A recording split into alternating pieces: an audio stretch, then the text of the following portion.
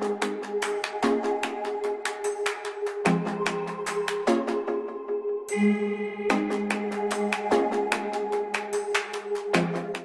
guys, so in the last video we, we started with binary search. We, we, we said that binary search is one search efficient searching algorithm which can be used to search in a search space for an item faster right? And then we try to answer some questions about it. We said that when can you apply binary search? There we said that you can apply binary search on a search space. If you are able to come up with some ordering of the search space such that you can define a predicate which reduces the search space to a series of f's followed by a series of t's that's when you can apply binary search. And if you can now apply binary search what what all can you find using that predicate on the search space with that ordering? You can find the last f or the first t that's basically all that we have uh, understood so far. Today in this video we want to take a couple of examples to drive home these two points. So so let's take the first example let's say you are given an array of sorted numbers so you are given some numbers which are sorted an array of sorted numbers and you are given some key k you have to find out the first occurrence of k in AR. So the first occurrence of k in the array. So for instance, uh, let's say the array that you are given is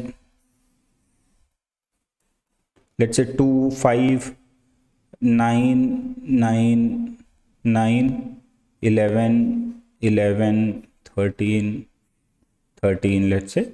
And let's say your key k is 9 so you have to find out the index of the first time 9 occurs in the array which is this index so th this is index number 2 so that's basically what you are expected to return. So we want to solve this question using binary search. So in order to solve this question using binary search what are the things that we need to keep in mind? We will have to come up with some ordering of the search space or ordering of the elements of the search space and then define a predicate and we know the conditions for that. So let's let's try to think about this problem.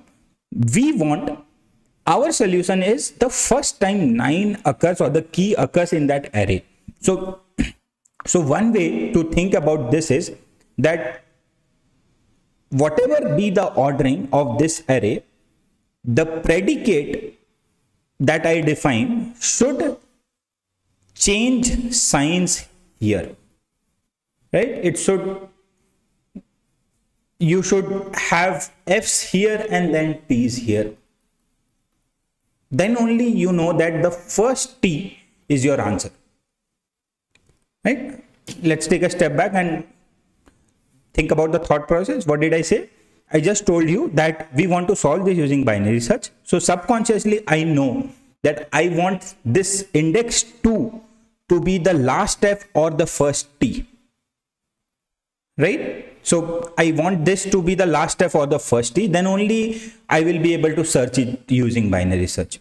So that basically brings me to this point that the predicate that I define should either be of this type, which is f, f for 2 and 5, and then cruise starting from 9, or it should be, it should have an f here, the last f here, which is of this type. Right, these are the two possibilities, right? Let me write it down for clarity. So let's say this is 13 13 so this are this is your array you only have two ways you want this to be the last f or the first t so if it is the first t this is how your predicate should look like if it is the last f then this is how your predicate should look like Now notice that this configuration is not possible ever. Why is this not possible? Because you know that this is also a 9 and this is also a 9. So it cannot be that the predicate evaluates to false for one 9 and true for another. Right? So this configuration is not possible. The only configuration that is possible is this, wherein you have the first t as the first occurrence of that key in the array. So that's that's something to keep in mind. Now with that in mind let's try to think about about the ordering and the and the uh, predicate. If i keep the same ordering which is the sorted ordering i can easily define some predicate which has starts becoming true from index 2 what what could be that? Very simply it is nothing but is x greater equals k. Right? Where k is the key that you are given. If you take this predicate it is very easy to see that it is true for everything starting from the first time k occurs and false before it. So so now i know the solution to this problem i tell you that the ordering is keep the same ordering. Predicate is x greater equals k and what you need to find is the first t that's the solution for this question. Let, let's take a, talk about another question. Let's say you are given the same question but now you have to find the last occurrence of the key instead of the first occurrence. So let's try to think about how we can approach that. Again let's let's take the same example let's take some example. Let's say this is the example 2 2 3 3 3 5 5 9 11 13 let's say. Now first thought initial thoughts. I and let's say your key k key is 5 right? Let's say k is 5 so you are interested in this 5 right? Which is whatever index you can seventh index right? So now the first thoughts are that I want this to be the boundary which means I want the last f to be here or the first t to be here right? Let's write down both. So one configuration that I want is either all f's till here and then it starts becoming t here and the other configuration that is possible is I want the first t to be here so all f's until this and then I start having t's from here. So tt, tt. Now using a similar line of argument, you can see that this configuration is not possible because for this 5 if it is true, for this 5 also it has to be true, it cannot be false. And same for this 5 also, same for this 5. For the same x, px is always the same, right? It's a deterministic function.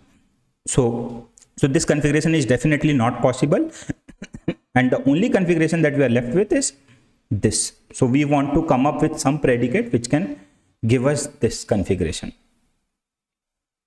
now based on this this initial thought let's try to answer these two questions you know it is not very tough to to come up with some predicate which changes sign after 5 knowing that the array is sorted right you can simply take px is, is x greater than k.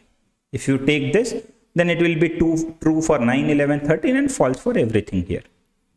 And you keep the same ordering, right? So the ordering remains the same as the question and the predicate is this. And you are interested in the last step. So that's the solution to this problem. Right? In the next video, we will look at the actual code for finding this last f or this first t assuming you have an ordering and a predicate so we'll see the code for that and then we will start solving problems